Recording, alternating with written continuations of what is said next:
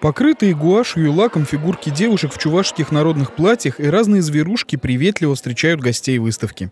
В студии детской глиняной игрушки «Азамат» работы создают по старинной, проверенной технологии. Глину собирают только с глубины 2-3 метров. Два-три дня сушим вот фигурки, как бы сказать, при естественной температуре комнатной, а потом обжигаем.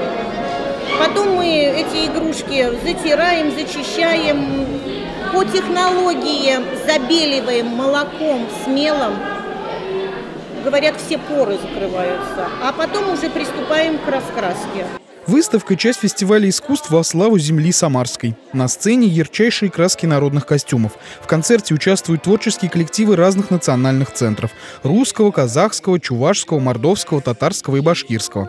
Возраст артистов от 6 до 70 лет, но больше всего среди поющих и танцующих были именно дети.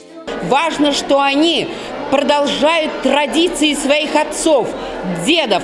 Важно, что они несут культуру своего народа. Они поют песни этого народа. Они рассказывают стихи на языке своих предков. Они одевают костюмы своих предков. Здесь в зале представители старшего поколения, э, члены организации ветеранов и инвалидов.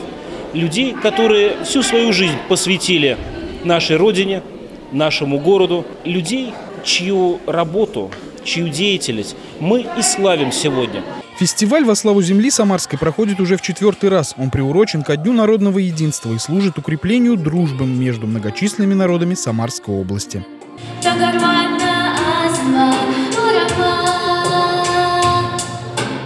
Андрей Горгуленко, Дмитрий Мешканцов. События.